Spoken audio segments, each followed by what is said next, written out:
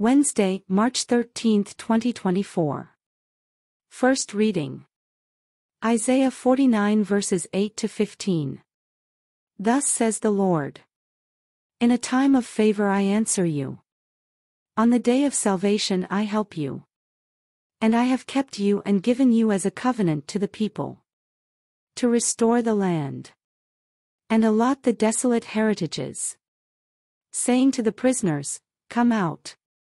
To those in darkness, show yourselves. Along the ways they shall find pasture. On every bare height shall their pastures be. They shall not hunger or thirst. Nor shall the scorching wind or the sun strike them. For he who pities them leads them. And guides them beside springs of water. I will cut a road through all my mountains. And make my highways level. See, some shall come from afar others from the north and the west. And some from the land of Syene. Sing out, O heavens, and rejoice, O earth. Break forth into song, you mountains. For the Lord comforts his people. And shows mercy to his afflicted. But Zion said, The Lord has forsaken me. My Lord has forgotten me. Can a mother forget her infant? Be without tenderness for the child of her womb. Even should she forget. I will never forget you. The Word of God. Thanks be to God. Responsorial Psalm. The Lord is gracious and merciful. The Lord is gracious and merciful. The Lord is gracious and merciful. Slow to anger and of great kindness. The Lord is good to all. And compassionate toward all his works. The Lord is gracious and merciful. The Lord is faithful in all his words. And holy in all his works. The Lord lifts up all who are falling. And raises up all who are bowed down.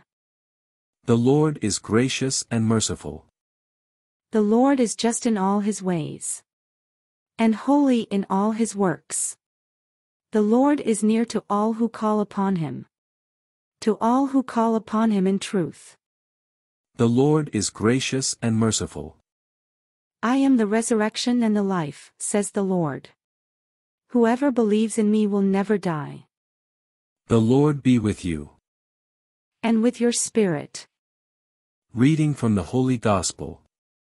According to John. Glory to you, O Lord.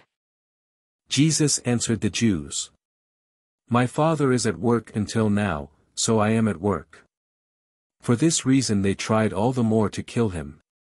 Because he not only broke the Sabbath, but he also called God his own Father, making himself equal to God. Jesus answered and said to them, Amen, Amen, I say to you, the Son cannot do anything on his own but only what he sees the Father doing. For what he does, the Son will do also. For the Father loves the Son.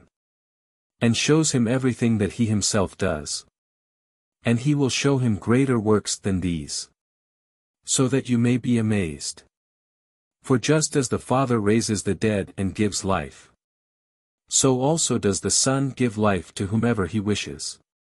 Nor does the Father judge anyone, but he has given all judgment to the Son. So that all may honor the Son just as they honor the Father. Whoever does not honor the Son, does not honor the Father who sent him. Amen, amen, I say to you, whoever hears my word, and believes in the one who sent me, has eternal life and will not come to condemnation, but has passed from death to life. Amen, amen, I say to you, the hour is coming and is now here. When the dead will hear the voice of the Son of God. And those who hear will live. For just as the Father has life in himself. So also he gave to the Son the possession of life in himself. And he gave him power to exercise judgment. Because he is the Son of Man. Do not be amazed at this. Because the hour is coming in which all who are in the tombs will hear his voice and will come out. Those who have done good deeds. To the resurrection of life. But those who have done wicked deeds. To the resurrection of condemnation. I cannot do anything on my own. I judge as I hear, and my judgment is just. Because I do not seek my own will.